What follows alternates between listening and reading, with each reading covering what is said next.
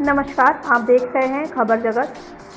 Prayag police को मिली बड़ी कामयाबी। अतीक अहमद के छोटे भाई और एक लाख के इनामी अशरफ को पुलिस ने शुक्रवार तड़के गिरफ़्तार कर लिया। उसे पूरा मुफ्ती के हटवा स्थित उसकी ससुराल से पकड़ा गया। वह तकरीबन तीन वर्षों से फरार था। उस पर शहर के सनसनीखेज राजू पाल हत्याकांड समेत दो दर्जन से अधिक मुकदमे चल रहे हैं। पकड़े जाने के बाद उसे कैंट थाने में रखकर घंटों पूछताछ की गई। लखनऊ से सीबीआई की टीम ने भी अशरफ से पूछताछ की। सुबह अशरफ की गिरफ्तारी की सूचना मिलते ही बड़ी संख्या में उसके समर्थक और रिश्तेदार थाने पहुँच गए। उन्हें हटाने के लिए पुलिस को थाने के इर्द गिर्द बैरिकेडिंग लगानी पड़ी। एक लाख का इनामी अशरफ तीन वर्ष पहले भाजपा सरकार बनने के बाद से ही फरार हो गया था। क्राइम ब्रांच की टीम को सूचना मिली थी कि अशरफ हटवा स्थित अपने ससुराल आया है। इस पर क्राइम ब्रांच ने कई थानों की फोर्स के साथ उसके ससुराल में दबिश दी। तड़के उसे गिरफ़्तार कर कैंट थाना लाया गया। यहाँ अधिकारियों ने उससे घंटों पूछताछ की। राजू पाल हत्याकांड की जाँच कर रही सीबीआई टीम को तड़के ही सूचना दे दी गई। दिन में प्रयागराज पहुँची सीबीआई टीम ने भी अशरफ से राजू पाल हत्याकांड के बारे में पूछताछ की। फरारी के दौरान भी अशरफ के खिलाफ कई मुकदमे दर्ज किए गए थे। पुलिस उन मुकदमों के बारे में भी तहकीकात कर रही है। फरारी के बाद पुलिस ने उस पर सबसे पहले पाँच हज़ार का इनाम घोषित किया था। बाद में इनाम बढ़ते बढ़ते एक लाख तक हो गया।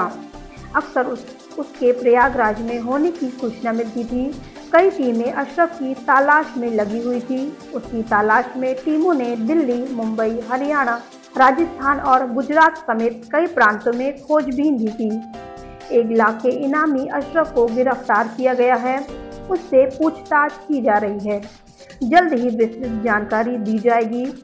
प्रयागराज में अशरफ के खिलाफ चार जिलों में 33 मुकदमे दर्ज थे। इन मुकदमों में वह पाँच मामलों में वांटेड चल रहा था।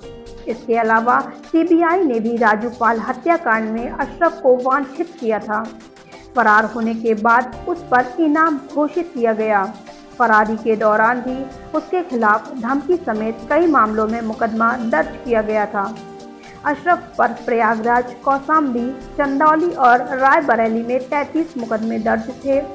सबसे ज़्यादा प्रयागराज में 30 मुकदमे दर्ज हैं। एक कौसाम्बी के पूरा मुफ्ती एक रायबरेली के ऊंचाहार और एक चंदौली में दर्ज है। प्रयागराज में सबसे ज़्यादा नौ मुकदमे धूमनगंज में दर्ज हैं। इसके खुलदाबाद में छः शाहगंज में पाँच, सिविल लाइन में पाँच, कोतवाली में एक जॉर्ज टाउन में एक और मुठीगंज एक मुकदमा दर्ज है।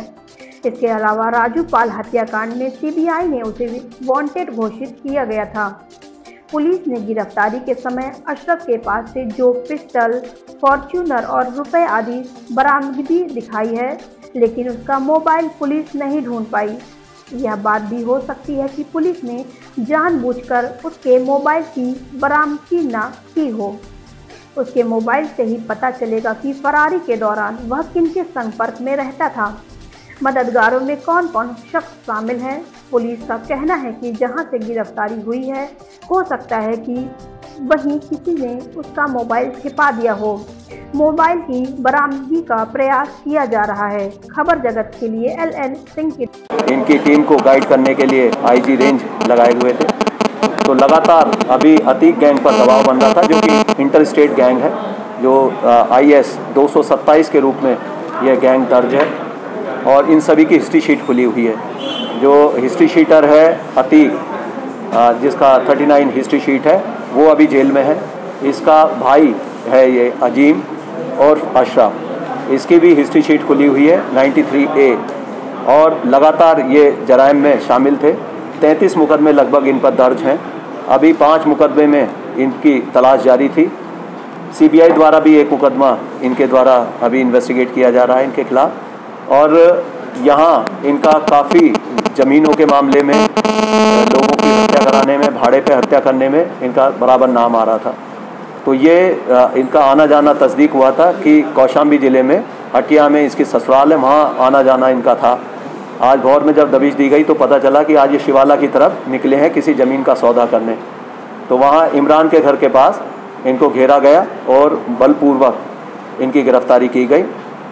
इसके पास से एक पिस्टल बरामद हुआ है 32 का और उसके साथ छः कारतूस भी बरामद हुए हैं। एक फॉर्चूनर गाड़ी यूपी 70 नंबर की है और इनके पास कुछ पहचान पत्र थे।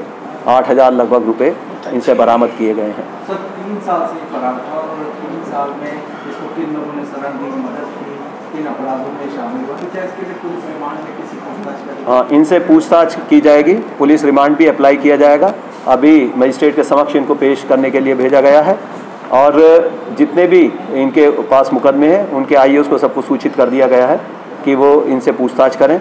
और जिन लोगों के भी नाम आएँगे जिन्होंने शरण दी है या इनके जो सह अपराधी हैं उन सब की गिरफ्तारी के लिए लगातार दबाव बनाया जाएगा। सर एक सवाल ये है कि तीन सालों से ये फरार थे क्या ऐसा चीज़ करते थे जिससे पुलिस इन तक पहुँच नहीं पा रही थी एस टी एफ़ भी लगी अब ये लगातार ठिकाने बदल रहे थे पैसे वाले लोग हैं इन्होंने काफ़ी सारा धन अर्जित किया है।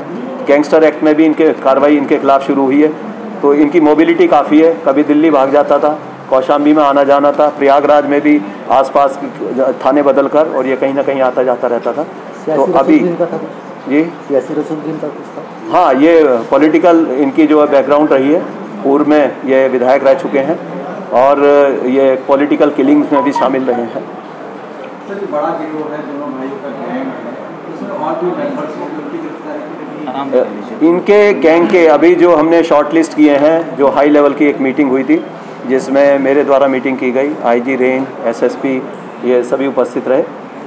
लगभग 127 से अधिक लोग चिन्हित हुए हैं, जो इनके एक्टिव मेंबर हैं इस गैंग में। तो उन सभी के खिलाफ हम देख रहे हैं कि उनके मुकदमे किस स्थिति में है, उसकी पैरवी प्रभावी कराई जा रही है। जिनकी हिस्ट्री शीट अभी रह गई है, उनकी हिस्ट्री शीट खुलवाई जा रही है। और इन सभी मुकदमों की लगातार पैरवी की जाएगी। इनके असले कुछ के निरस्त हो गए हैं कुछ के निलंबित हैं। हाँ, लेकिन सभी के जहाँ जहाँ भी असले इनके या इनके सह अपराधियों के हैं उनको सबको जमा कराया जा रहा है।